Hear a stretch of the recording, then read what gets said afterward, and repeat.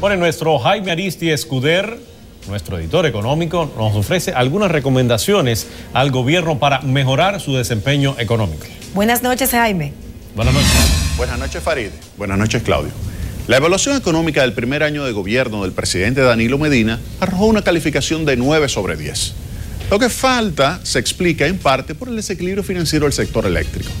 Ese déficit, en vez de reducirse, continúa subiendo y superará los mil millones de dólares establecidos como subsidio en el presupuesto de este año 2013.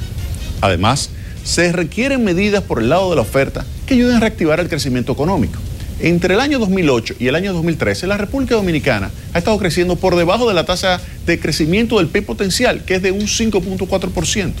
Para acelerar ese ritmo de expansión hay que estimular el aumento de la inversión privada, el incremento de la participación laboral, la creación de empleo y la expansión de la productividad factorial total. Es imprescindible mejorar todavía más también la calidad del gasto público, orientando recursos corrientes hacia el gasto de capital. El impacto de esa reorientación sería positivo dado que el multiplicador del gasto de capital es superior al del gasto de nómina y de transferencias públicas.